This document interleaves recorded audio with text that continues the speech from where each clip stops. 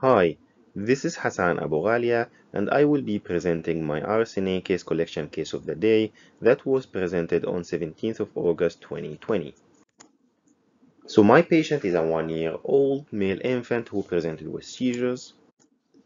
On the left side of the screen, we have an axial T2 weighted MR image through the brain showing bilateral multiple cortical and subcortical high signal intensity foci indicating tubers.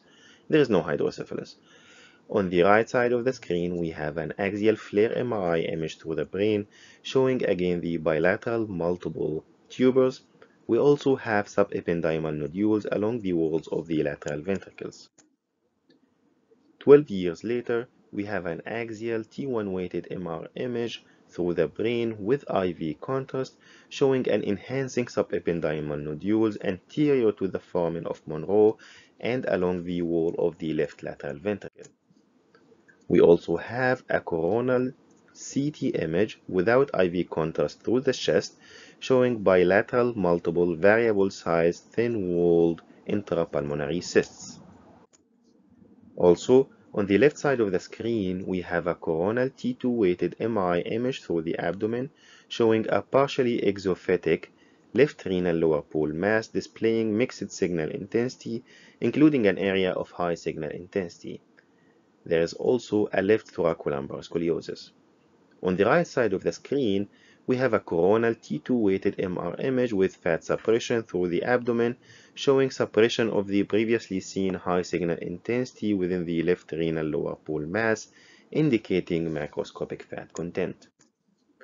Finally, we have coronal out-of-phase MR image through the abdomen, again showing the exophytic left renal mass with surrounding Indian ink artifact, denoting intravoxel signal loss at the boundary of the mass and the perirenal fat.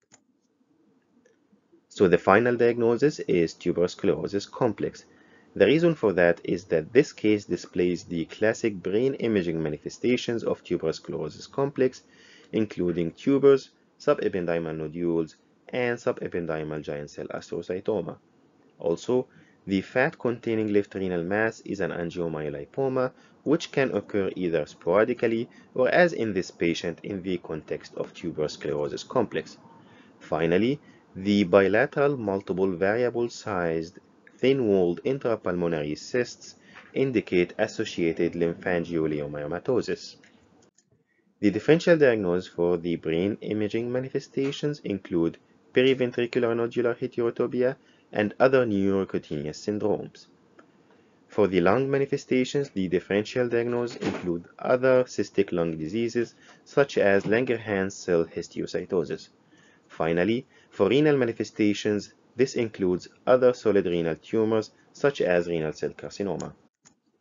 The take-home messages the first one is that tuberous sclerosis complex is a common phacomatosis characterized by multi-system hamartomas affecting the brain, lung, heart, kidneys, and liver. Also, seizures are the most common presenting symptom and are present in around 90% of cases. Finally, imaging plays an important role in the diagnosis and follow-up of tuberous sclerosis complex. Thank you.